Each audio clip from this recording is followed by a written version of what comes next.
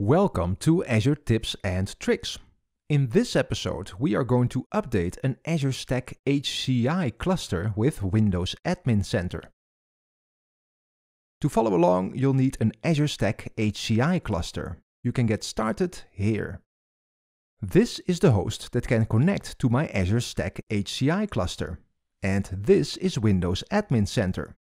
I use this to manage my Azure Stack HCI cluster, and you can also use the Azure Portal, PowerShell, or third-party software.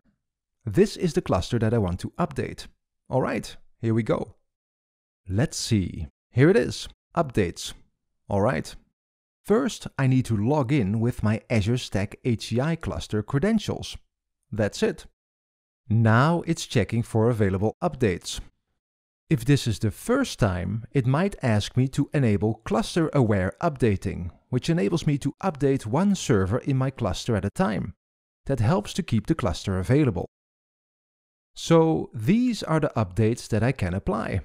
Let's do it. Alright, it just checked for available hardware updates, which it can't in my case, as I'm running an evaluation cluster in Azure. Okay, next. This is a summary of what will be applied. That looks good. Let's go. And that's it.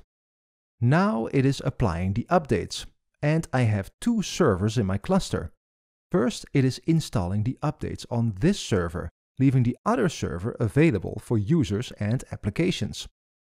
During the update process, the server might restart. That is the cluster-aware updates feature. Alright, I'll skip to when it is done. And that's it.